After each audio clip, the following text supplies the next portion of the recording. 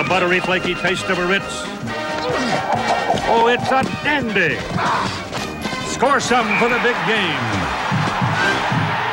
Nothing fits like a Ritz.